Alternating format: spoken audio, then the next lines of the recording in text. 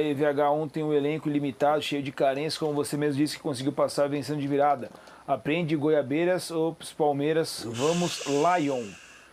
Como é que é? Ah, porque eu- quando o Palmeiras perdeu co- pro Fortaleza, eu coloquei lá aqui, para um time que quer ser campeão,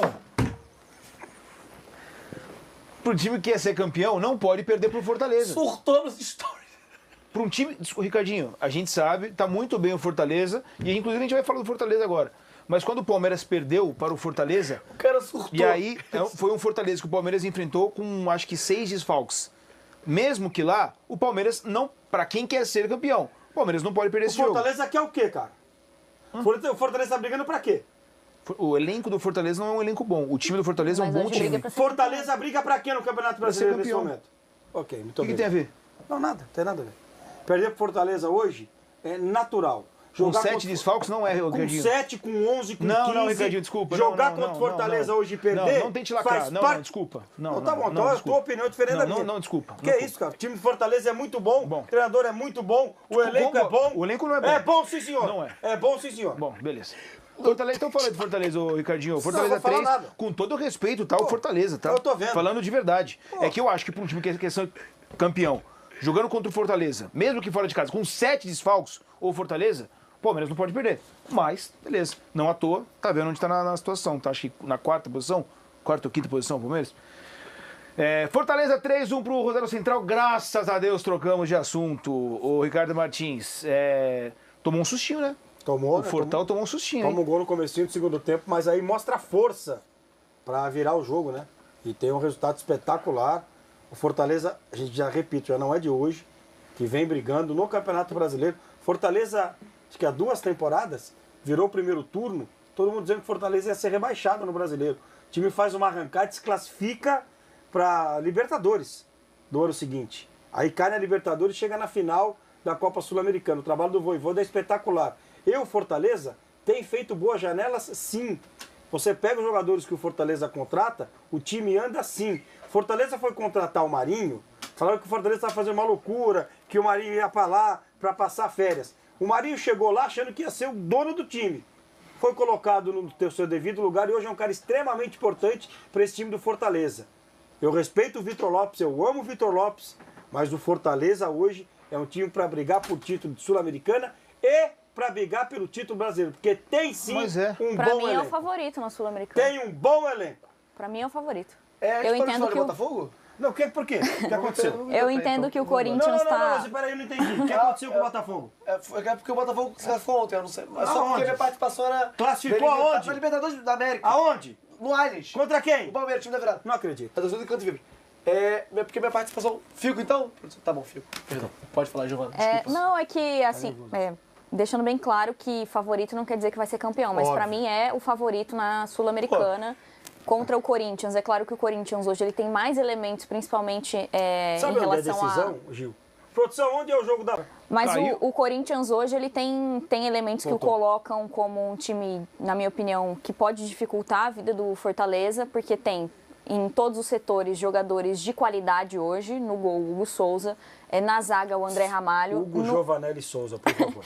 no Vamos meio colocar os campo nomes o Garro aí, e no ataque o Thales. Então acho que isso contribui bastante para uma evolução do Corinthians e para que o Corinthians tenha um pouco mais de esperança, principalmente nesses jogos de mata-mata. Mas sem dúvida para mim o Fortaleza hoje, pelo futebol que vem desempenhando e É muito pela bom, continuidade de desempenho e até pelo que a gente viu ontem, né, de, de não sentir e conseguir é, correr atrás do resultado, acredito que o, que o Ô, meu Botafogo, amigo que o Botafogo, que o Fortaleza hoje.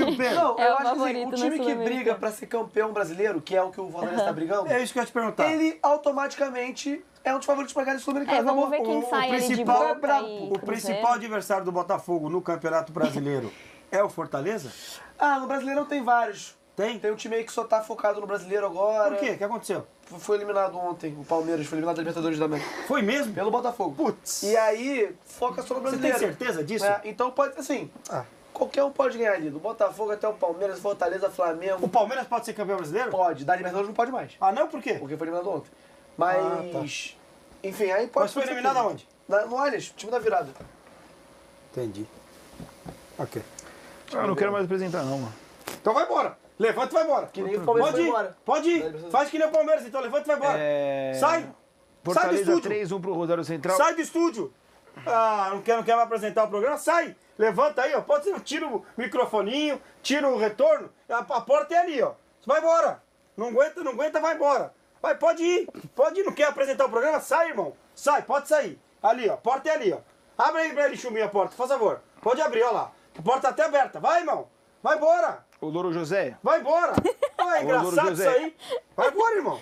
Vai embora. Não tá feliz, vai embora. Não, não Ninguém falei que tá eu tô, te segurando aqui. Não tô falando que não, não falei que É, eu tô feliz. então eu não quero mais Só falei que a apresentar o programa tem área. que, tem que dar andamento Sim, mano, programa. pode Pode, ficar voltando em assunto que já foi falado. Como é que foi ontem no Allianz, por favor? Deu nós. Ah, ok, obrigado. É, perfeito. Bom, é... Fortaleza, pra vocês estão favoritos pra Sul-Americana. Pra Giovana, sim, né? Pra mim, sim. Pra Cara, você? é, de novo, uma vez que tem um time que é um dos, tem que, que tá brigando pelo título brasileiro na Sul-Americana, esse time tá, é um dos favoritos para ganhar a Sul-Americana, se não for o favorito. Tem Cruzeiro também, né? É, vamos se ver passar se, hoje pelo vai Boca, né? passar pelo Boca. é, acho que quem o Boca sai é ali vai sempre ser chato, um grande desafio. É chato, mano, mas o Fortaleza meteu 4 no Boca no passado, Sim. pô. Esse ano. Esse ano. Esse Não, foi ano, ano passado. na fase de A grupos. produção falou que a volta é no, no, no Castelão, tá? Opa! É. Como volta no foi ano passado, quando o Fortaleza elimina o Corinthians na semifinal da Sul-Americana. Ah, bem. Já Vamos ver o Lion. Lion. Tá bem, tá bem. Foi o...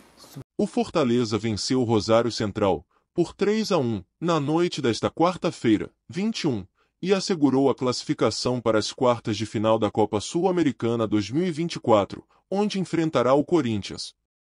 Os times vão se reencontrar e decidirão uma vaga para as semifinais do certame. O jogo de ida será na Arena Castelão, entre os dias 17 e 19 de setembro. Já a volta acontecerá na Neoquímica Arena, em São Paulo.